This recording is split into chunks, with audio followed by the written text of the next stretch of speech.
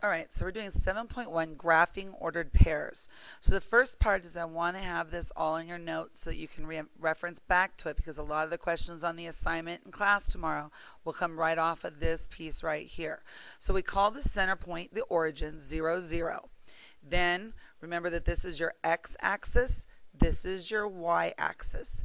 We have four quadrants. This is quadrant, the first quadrant, this is the second quadrant, this is the third quadrant, and this is the fourth quadrant. First quadrant, your x is positive, your y is positive. Second quadrant, your x is negative and your y is positive. Third quadrant, they're both negative. And fourth quadrant, the x is positive and the y is negative. All right. so now we're going to graph some points and we're looking at, I've done the first one here, graph 4, 2. So remember the first number is your x, so it goes left and right. You move over 4, up 2, and you always put the point next to it so it's labeled. So if we do negative 3, 4, x first, that means we go to the left 3 and up 4, and we label it negative 3, 4. On this one, negative 2, negative 5. That means you go over 2, down 5. Make your point and label it. And then 3, negative 2, positive x. You move over 3, down 2, and you have the point 3, negative 2. Okay, now we're going to move on to graphing equations, which is actually 7.2. So this, lev this lesson covers 7.2 graphing equations and 7.1 graphing ordered pairs. So the first question we have is determine if 3, 7 is a solution for y equals 2x plus 1. So we're going to rewrite the equation y equals 2x plus 1 and we're going to substitute. So we're going to say what if x is 3, 2 times 3, does y equal 7? So 2 times 3 is 6, plus 1, we get 7 equals 7. So the answer is yes, it works. So we'll do another one like that. So for the second one, determine if 2, 3 is the solution for y equals 2x plus 3. We're seeing if it's one of the possible solutions. So the y is 3. The x is 2. So we're looking at 2 times 2 is 4 plus 3. So the question is, does 3 equal 7? And the answer would be no. So this point is not a solution. Where this one worked, it is a solution. This one doesn't work, it's not a solution. Okay. Find three solutions. So now we've got a problem and they want us to come up with solutions that work. We're going to make a t-chart, and I know that you've seen a t-chart before, the x and y chart. And what you're going to do is you're going to pick three numbers for x. Any three numbers you're comfortable with, and right now I'm going to give you those three. Later you can pick your own. x I'm going to make 0, 1, and 2. So we're going to come over here, y minus 2 times 0. We want to know what happens when the x is 0. We get y minus 0 equals 3. So if the y, x was 0, the y is 3. Now what happens if I make the x 1? So I start with the original equation, and in the x position I put a 1. 1. 1 times 2 is 2.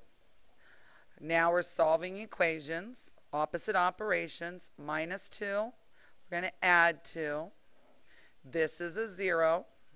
So we get y equals 5. And the last one, what happens if the x is 2? Then y minus 2 times the x. y minus 4 equals 3 opposite operations, add 4. We want the y by itself. This gives us a 0. we get y equals 7. So we have now found three solutions for that problem. They're right here. All right, let's do another one like that. Okay. There we go. So again, we're doing three solutions. So I'm going to just copy the problem over here. I'm going to make my t-chart, x, y. Right now, I'm giving you the 0, the 1, and the 2. You might find other ones later that you like. So what happens when x is 0? 3 times 0. y equals 0 minus 2. Make sure you get that that's a minus a negative 2. So if x is 0, y is negative 2. Now we move on to what if it's 1? 3 times 1 minus 2. So again, we're going back to the original problem. Sorry about that. Going back to the original problem, and we're adding the 1 in for x. So we get 3 minus 2, y is 1. All right, our last part here, and I'm going to fit that right here. What happens if the x is 2? So 2 times 3 is 6 minus 2, y equals 4. So again, we now have three solutions for that problem.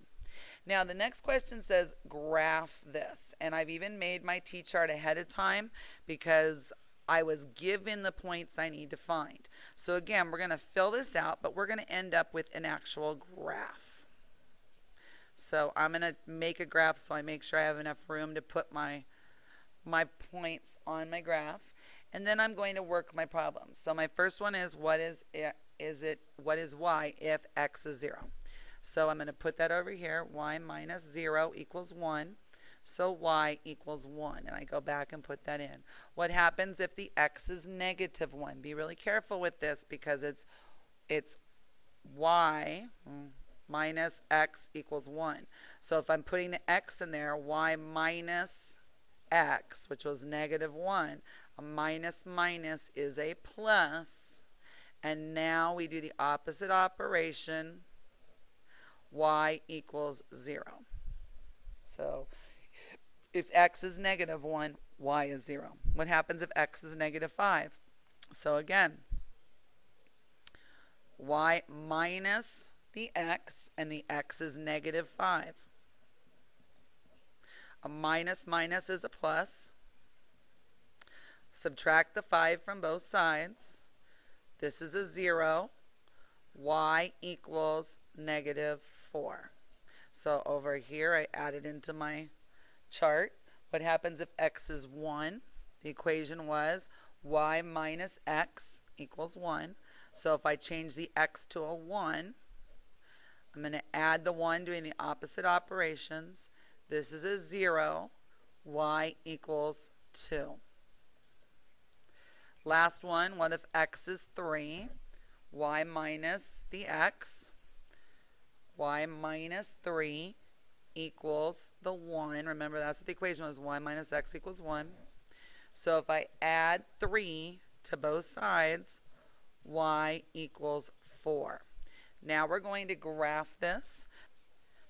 All right, so now we're going to graph that. So we have our points x is 0, y is 1, 0, 1, negative 1, 0, negative 5, so 1, 2, 3, 4, 5, negative 4, 1, 2, 3, 4, 1, 2, and then 3,